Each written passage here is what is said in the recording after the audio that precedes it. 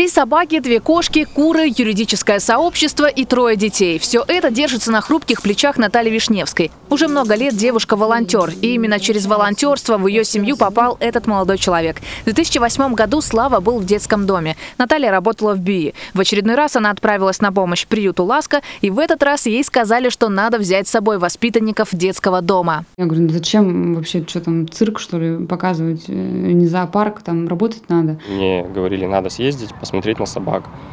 Я сказал, ну, я не хочу. У меня в итоге уговорила моя подруга, сказала, поехали съездим, что ты будешь сидеть. И он так сразу ко мне как-то прилабунился, мы там с ним. Я говорю, так, бери там э, доски, потащили, там уголь, еще что-то. Я ничего не понимаю, говорю, мы же собак пришли смотреть. Она ко мне подошла, говорит, что стоишь, пошли убираться.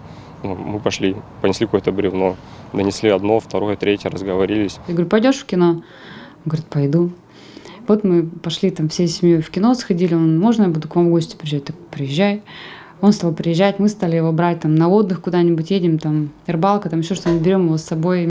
Сегодня Вячеславу уже 27 лет, и ему очень повезло, что когда-то он обрел семью. У многих детей в приютах есть родители, но они ограничены в правах. Из-за этого ребенка не могут усыновить, он не может претендовать на жилье, но даже таким детям можно помочь, изменить их жизнь и стать примером. Наталья рассказала нам о проекте наставничества. За каждым ребенком в детском доме может быть закреплен куратор, проводник. С ним нужно видеться хотя бы раз в неделю, постоянно быть на связи. При этом воспитанника не нужно усыновлять, хотя это никто не запрещает. Наставник э, прежде всего нужен не для какого-то материального обеспечения ребенка, а для возможности осознания, что у него есть близкий родной человек, который ему поможет в любую трудную минуту и будет принимать его вот таким, какой он есть и всегда будет находиться рядом.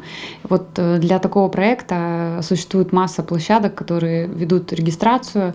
А, это и у нас на территории Алтайского края есть, и в других регионах. В общем, это доступно на территории всей России.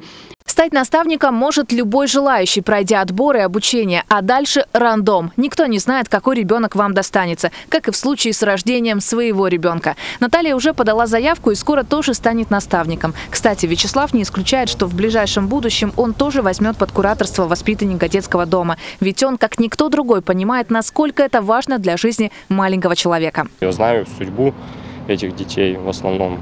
Ну, и не всем там легко и не всем просто. Ирина Корчагина, Дмитрий Денисов. День с толком.